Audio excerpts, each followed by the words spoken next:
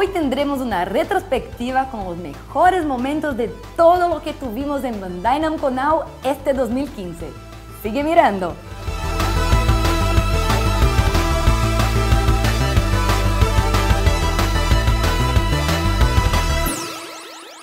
Hola chicos, ya está terminando 2015 y este año pasó volando. Ni parece que han sido 18 programas desde que empezamos. Este primer año de Bandai Namco Now hemos tenido mucho contenido y estoy segura de que les encantará esta retrospectiva con los mejores momentos. Y ustedes que nos acompañan, ¿les gustaría ver cosplays, fanarts y conocer tras bambalinas de Bandai Namco? Entonces síganos en Instagram Acabo de dejarles un mensajito por allá. Y para comenzar, vamos a recordar lo que pasó en nuestra cobertura del E3 en Los Ángeles. Del 16 al 18 de junio se realizó en el Los Angeles Convention Center el E3, la mayor feria de videojuegos del mundo. Margie estuvo allá para representar a Bandai Namco Now y logró entrevistar a mucha gente, como los fanáticos de Dark Souls, Barney Jones y a German Spy, que hablaron un poco sobre la serie. What are your thoughts re regarding the new DS3? Right, so um, they showed the cinematic trailer so far. We haven't seen any actual gameplay. Um, but of course, it's a new Souls game, so that alone, you know, it's we're all super hyped for it. I'm definitely super hyped for it, and uh, I really can't wait to see what uh, surprises uh, Miyazaki-san has uh, in store for us once he shows us gameplay or we get to play it ourselves. So, do you guys have any tips for the newbies playing or starting or wanting to play the Dark Souls series? Just bear in mind that the challenge can be frustrating at first if you're not accustomed to it. In most cases, I would venture to suggest probably 80 or 90% of the time, if you get killed in a Souls game, it was your fault because of a mistake you made. También hablamos con Dennis Lee, gerente de marcas de Bandai Namco allá en E3. Chécalo.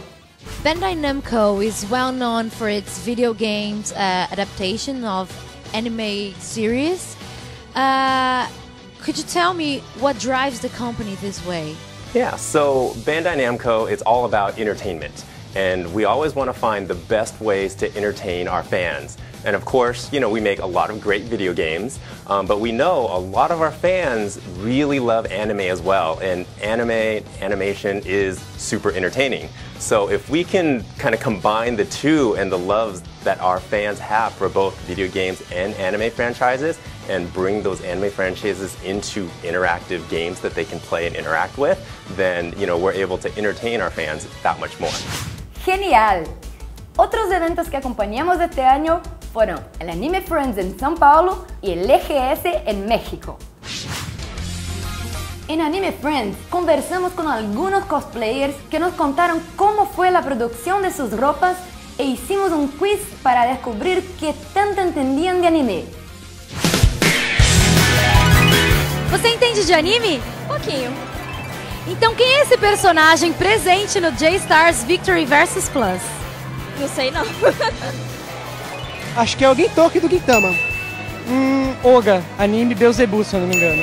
Nada, não tenho nem noção, gente. Esse daí é o Gintoki. Sensei. Quem? Koro Sensei. Boa pergunta, eu já vi e não sei te responder. Ryokumura. Ixi, fugiu da mente agora, né? É o Koro Sensei? Eu sei qual é o anime, mas eu não lembro o nome dele. O nome é difícil agora, mas eu sei que era da série Beelzebub. Não faço a menor ideia. Bom, a resposta vai sair no Bandai Namco Now. Vai ter que assistir, hein? Vou assistir, vou assistir só pra saber, porque tudo que é mais recente que Yu-Gi-Oh! eu não sei. Allá en EGS vimos la emoción de los chicos que pudieron jugar en primera mano varios lanzamientos. Estoy esperando más el de Caballeros del Zodíaco, obvias razones, soy fan de la serie. ¿Qué juego estoy esperando más? Pues realmente el que ustedes están viendo acá atrás, que es el de los caballeros. Eh, yo creo que sería Dorso, o si no sería Naruto.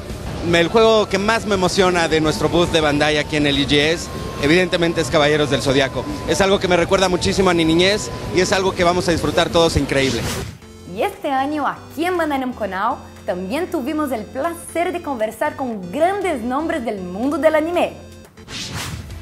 Aquí ha estado Koji Nakajima, productor de J-Stars Victory vs. Plus, Shunsuke Fujita, productor de Godzilla, Hisashi Koinuma y Koji Nakajima, productores de One Piece Pirate Warriors 3, Andy Tudor, productor de Project Cars, Paul Joe, productor de F1 2015, Hiroshi Matsuyama, productor de Naruto Shippuden Ultimate Ninja Storm 4, Kachatur, Jason Enos y Mark Religioso de Bandai Namco, entre muchos otros nombres. Es enorme la lista, mucha gente importante ha estado aquí, pero el programa que más me emocionó fue el especial de los Caballeros del Zodiaco. Además de noticias sobre Alma de Soldados, entrevistamos a los actores dueños de las voces de la versión en español del anime. Vamos a recordar una parte. Bueno, volver a doblar el personaje después de tantos años que ya no lo había hecho fue para mí un reto, porque cuando hicimos la caricatura, pues yo era joven y después pasaron muchos años y entonces yo decía, ¡Ah! pero se ve más niña. Interpretar un personaje así con risa malvada y y explosión galáctica y todo, bueno, fue de verdad fascinante. Fue como un reto para mí eh, tratar de, pues alcanzar la excelencia en este, en este tipo de videojuego que es nuevo para nosotros en la cuestión de doblar. ¡Meteor pedazo! ¡Qué chévere! Y hablando de los caballeros, no podemos olvidar a Mito-san, productor del juego Alma de Soldados, que vino al estudio y hasta hizo un cosplay.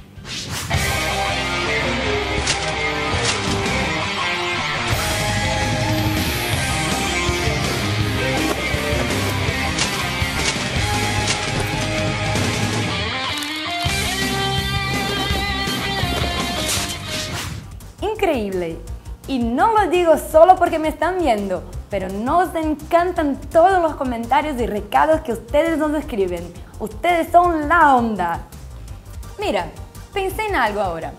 Hacemos tantas buenas entrevistas, pero no hay espacio para todas ellas en la edición del programa. Así que hagamos una encuesta.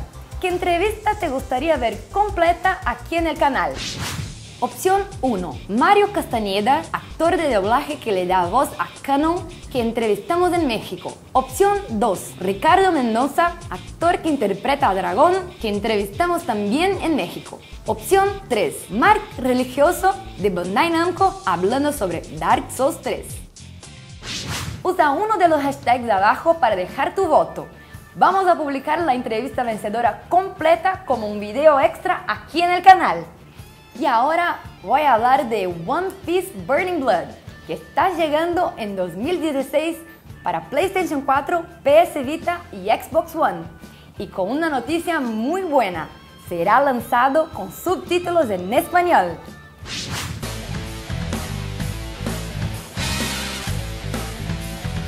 One Piece Burning Blood es un nuevo lanzamiento de Bandai Namco inspirado en la saga de los piratas de One Piece Ahora habrá más opciones de personajes para jugar, además de Luffy, como Ace, Sabo y Trafalgar Law.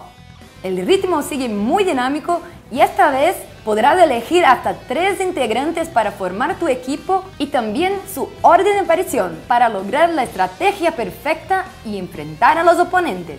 Pero la principal novedad es el lanzamiento de la versión con subtítulos siguiendo la línea de lo que ha hecho Bandai Namco para América Latina.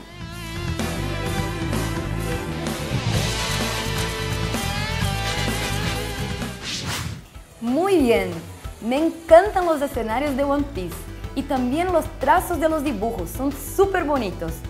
Y ya saben, sigan mirándonos porque pronto tendremos más novedades de One Piece Burning Blood para ustedes, ¿ok? Chicos, espero que les haya gustado este primer año de programa como nosotros que hacemos el Mandarin Canal.